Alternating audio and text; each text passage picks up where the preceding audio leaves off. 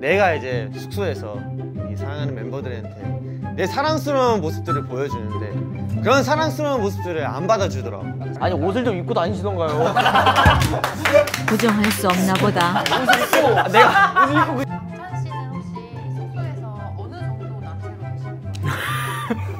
아담과 이브 안 돼. 제가 편하게 느껴지는 그 리밋까지는 네. 아.